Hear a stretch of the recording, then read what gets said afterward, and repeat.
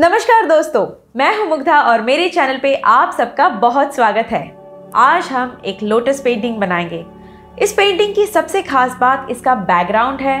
इसके बैकग्राउंड के लिए आज हम एक बहुत ही यूनिक और मज़ेदार पेंटिंग टेक्निक सीखेंगे। इस टेक्निक का नाम है बोके इफ़ेक्ट तो बोके इफ़ेक्ट के लिए बहुत सारे छोटे बड़े सर्कल्स का हम इस्तेमाल करेंगे और जो फाइनल आउटकम होता है, जो फाइनल लुक होता है वो बहुत ही आकर्षक होता है। और ये जो बैकग्राउंड टेक्निक है, आप किसी भी और पेंटिंग के लिए भी इस्तेमाल कर सकते हैं तो बहुत ही यूज़फुल टेक्निक है। और वीडियो शुरुआत करने से पहले प्लीज़ चैनल को सब्सक्राइब कीजिए, वीडियो को लाइक कीजिए एंड अपने दोस्तों के साथ शेयर कीजिए। इस पेंटिंग के लिए हमें चाहिए acrylic colours round brush liner brush fine tip marker scrub sponge और ये कैनवस अगर आपके पास कैनवस नहीं है तो आप एक्रेलिक पेपर का भी इस्तेमाल कर सकते हैं। तो चलो अब पेंटिंग की शुरुआत करते हैं। यहाँ पे आप देख सकते हैं कि मैंने एक बहुत ही सिंपल सा स्केच बनाया है। अभी हम इसे जल्दी से आउटलाइन करेंगे। आउटलाइनिंग के लिए मैं इस्तेमाल कर रही हूँ फाइन टिप मार्कर पेंटिंग करने से पहले मैं अपने स्केच को ब्लैक कलर से आउटलाइन करना प्रेफर करती हूँ ताकि पेंटिंग करने के बाद भी हमें अपना स्केच दिखे।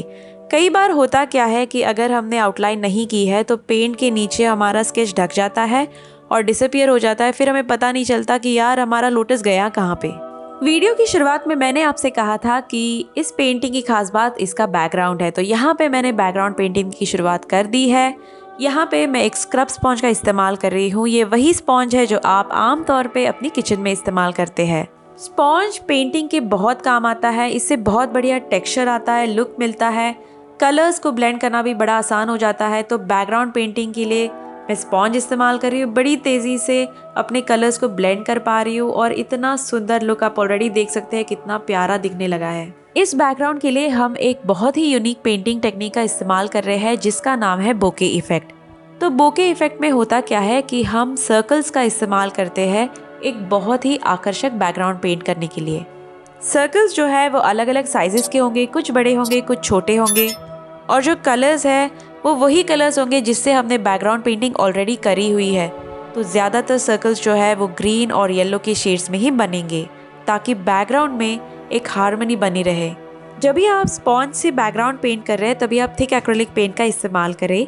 लेकिन जब भी आप सर्कल्स पेंट कर रहे हैं तो उसी एक्रेलिक पेंट में आपको बहुत ज़्यादा पानी डालना है, उसको पतला बनाना है। इससे होता क्या है कि आपको बहुत बढ़िया ट्रांसलूसेंट इफ़ेक्ट मिलता है और आपके पेंटिंग का लुक बहुत बढ़िया होता है। तो देखिए हमारा बैकग्राउंड कितना प्यारा लग रहा है। अब जल्दी से हम लोटस पेंटिंग की तरफ़ मुड़ते हैं। लोटस पेंटिंग बहुत ही आसान है। सिर्फ़ पिंक और वाइट कलर्स को अच्छे से ब्लेंड करना है और हो गया हमारा लोटस रेडी तो अभी मैं लोटस के स्टेम्स और लीव्स पेंट करूँगी। इसके लिए मैं एक लाइनर ब्रश का इस्तेमाल कर रही हूँ, जिससे डिटेलिंग बहुत आसान हो जाती है। इस लोटस के स्टेम्स और लीव्स में थोड़े डेकोरेटिव तरीके से बना रही हूँ। जहाँ मेरा इमेजिनेशन ले जा रहा है, वहाँ पे जा रही हूँ। तो आप भी जब भी पेंटिंग करें तो अपने आप को रेस्ट्रिक्ट ना करें। जहाँ पे भी आपकी क्रिएटिव एनर्जी आपको लेके जा रही है, जहाँ पे आपकी इमेजिनेशन आपको लेके जा रही है, वैसे आप पेंटिंग करें तो आप उसको और भी ज़्यादा इंजॉय करेंगे। तो देखो, हमारा पेंटिंग रेडी है और कितना बढ़िया लग रहा है।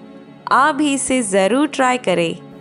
दैट्स इट गाइज़ इस पेंटिंग को घर पे ज़रूर ट्राई करें. You will enjoy it a lot अगर आपके पास कोई डाउट्स है क्वेरीज है या फिर आप किसी स्पेसिफिक टाइप का आर्ट देखना चाहते हैं तो ज़रूर कमेंट करें ताकि मुझे भी आपके ओपिनियंस पता चले.